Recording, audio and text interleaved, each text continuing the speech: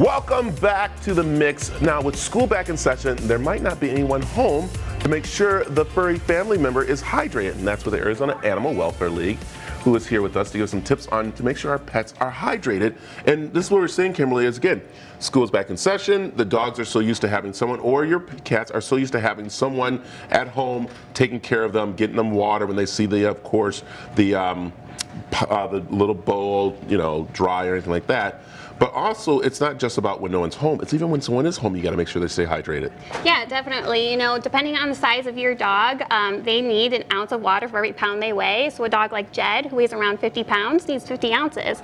If they're not very interested in water, you want to find some um, unique ways to make sure that they're getting hydrated throughout the day. And it's kind of interesting that you think a dog would because they're out there and you see them panting that they're going to go to water, but really they don't. What sometimes they'll do, they'll go eat, which is not always good for them if they haven't had the water, right? Yeah, and you know, they might get distracted with toys or if they're outside playing, they might not think about it. So you want to make sure that you're being uh, mindful of that and creating those situations where you can give them these treats or make sure that they have water available. Yeah, and one, one easy way is right here. This is so easy to do. You just pop this water open. These little portable buckets are, I mean buckets, um, portable uh, Bowls. Of course, bowls are really cool, especially if you're going on walks, for camping, or anything like that. Look at that, and, and that literally holds eight ounces of water. And that's pretty much what you should be giving a dog each time, right? Yeah, and that's a great one to bring, you know, just have in the car. And all you have to do is bring a bottle of water with you and fill it up and make sure that they're getting that when you're out walking or if you're out shopping or anything with them. You want to make sure that you have that available. Yeah.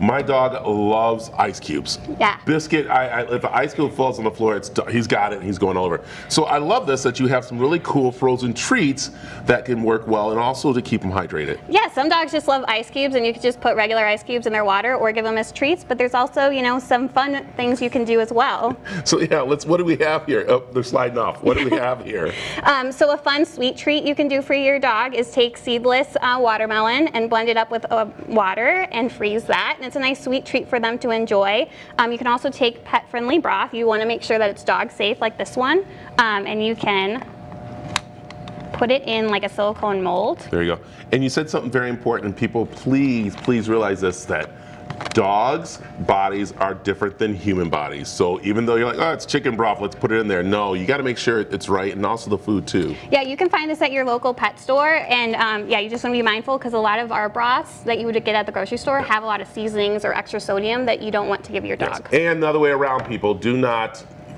eat the dog broth. So, I mean, you could if you wanted to. you? I don't know. Oh, because we used to feed my sister actually dog bones. So love you, sis. she didn't know. She thought it was just cookies. And another um, fun thing too, you know, if you're, um, you know, if it's really hot outside and Yeah. you might not be able to get out for a walk, you can create a fun puzzle um, hydrating treat for your dog, and you can put some wet food in it. Um, and then some dog treats, or even fresh chicken that you make. Um, you can do one with chicken's only ingredient, or you make your own um, chicken. Yeah. You freeze it up, and then you can give one like Jed's having I right love- there. And he is. There he goes. So let's talk about, of course, uh, Jed, because Jed is available for adoption, right? Yeah. Tell me a little about him. Kimberly. Yeah, so Jed is about six years old and he's been waiting for his forever home for about a month or so. And we think he would do great as a family dog. He would do good with children of all ages. He possibly can have a, a dog companion as well. You just want to meet them first. And yeah, if you want to meet uh, Jed or learn more about him, you can go to our website, aawl.org. Yeah, and of course, uh, it's. Um, eh, Nicole. Nicole, thank you, Nicole. Oh, no, Nicole.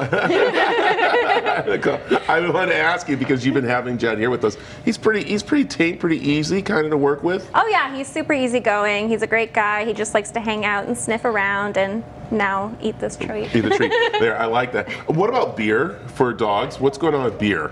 So the beer's not for dogs, Okay. but it's uh, raising money for uh, our cats and dogs at home uh, or at our shelter. And you can, um, we partnered with Walter Station for them to create a custom beer for us. It's called the Ale Wagger. Um, and we're having a launch party this Saturday, 11 a.m. to 2 p.m.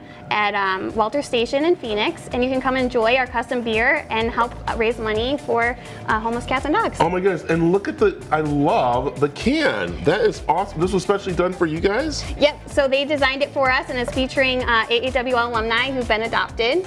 I love it. That is awesome to get. And then it will be available or just at the. Uh... Yeah, so you can um, buy it on tap or you can buy a six pack, and it will also be um, at different locations around the valley as well for Great. you guys to enjoy. Okay, let's remind people about hydrating. Just some of the quick tips to make sure that they do keep the dogs hydrated. Yeah, so make sure um, that for every pound your dog weighs that they're getting that ounce of water. And don't forget about cats too. You can create a fun frozen treat for them as well. This is a little churu stick that you could stick in the freezer and it creates a little fun frozen popsicle for them. And what are the signs look for for pet dehydration? Yeah, so um, a good sign is if you picked up their um, kind of skin and it doesn't go back right away, that elasticity, that's a sign that maybe they're dehydrated, maybe their nose is dry, they're panting a lot. Those are signs to keep an eye out for and make sure that you're giving them enough water if you're spotting those. Yes, and it's okay to get them enough water. You let them out and they relieve it outside. My dogs are doing it inside. We won't talk about that right now. I'm trying to re-break them of that. They like have drink the you know the water and stuff. So this is great. Kimberly, please remind people uh, where they can find more information about keeping the dogs hydrated, also about the great event and where they can adopt the dogs. Yeah, so visit aawl.org to learn more about our adoptable animals and about our upcoming event.